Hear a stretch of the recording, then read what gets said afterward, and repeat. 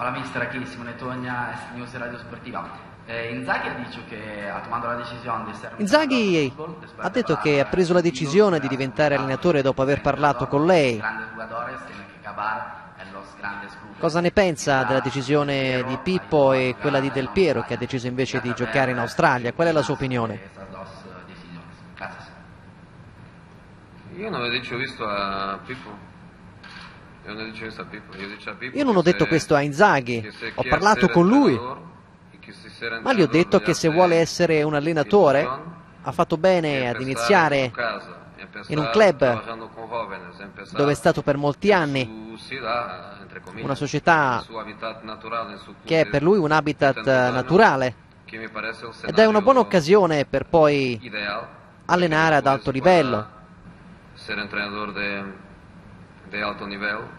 Por otro lado, Invece Del Piero ha deciso di continuare a giocare, anche se in un campionato dove il livello calcistico è differente.